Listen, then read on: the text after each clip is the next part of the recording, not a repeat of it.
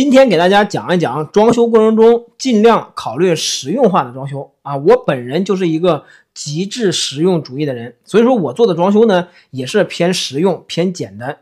就是有人我们的同行啊，一起喝酒聊天的时候也说过啊，大崔你把这个活你弄得复杂一点，你不能多挣几块钱吗？话是这个话，但是每个人的内心是在这儿的，是吧？你的心。是向往一个简单实用的一个理念，所以说你做的东西呢，包括我的粉丝，包括我的客户也会更偏向于这种。所以说我罗列几个我认为啊，本来不应该这么复杂去干这个活儿但是呢，现在很多啊装饰公司愿意这样去做。第一个呢就是踢脚线，为什么要做隐形的踢脚线？没有必要，踢脚线就是为了盖住瓷砖与墙面之间的缝隙的。它就是一个边角料的东西，你干嘛非要把这个边角料的东西啊修饰的那么完美呢？啊，选择一个竹木纤维的最便宜啊，选择跟门一样材质的啊，搭配效果最简单，选择不锈钢的啊，金属踢脚线简洁，这三种材质都可以选。为什么非要用那种瓷砖的啊贴到墙里面的隐形踢脚线呢？完全没有必要。第二个，卫生间和厨房。为什么要考虑做那种石膏板吊顶？没有必要，它就是那么小的空间，谁会天天的去顶面看那个效果？它的效果好，能好到哪去呢？我用一个铝扣板的吊顶，价格便宜还实用，我丝毫都不用考虑我洗澡的时候水汽太大会不会发霉，会不会受潮，我都不用想这个事儿。为什么要去做这个复杂的东西呢？还有。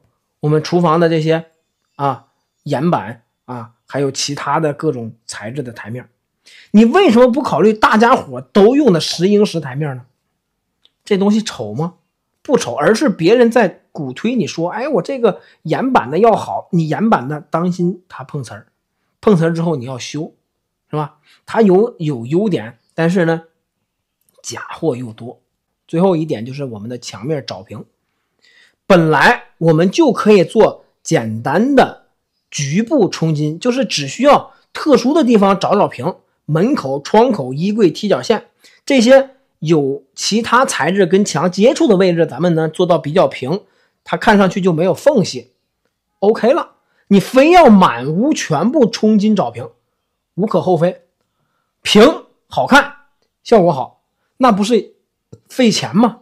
没有必要，根本就看不出来，你干嘛要花那个钱呢？不是一些这个活没有说没有说这个这个东西没有说谁遥遥领先啊，不会存在。比如说有一个活儿别人不能做，我大崔能做，我是做不到这种情况下，任何人都做不到。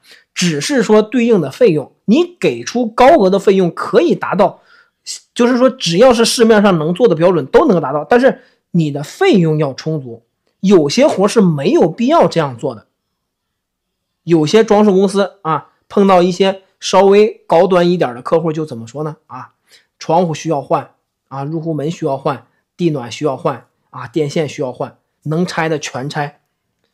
是，钱得您出，对吧？好了，我是一个实用主义的啊，当然了，只代表我个人啊，只代表我们偏实用主义的这些人。好了，我是大崔，关注装修每个细节。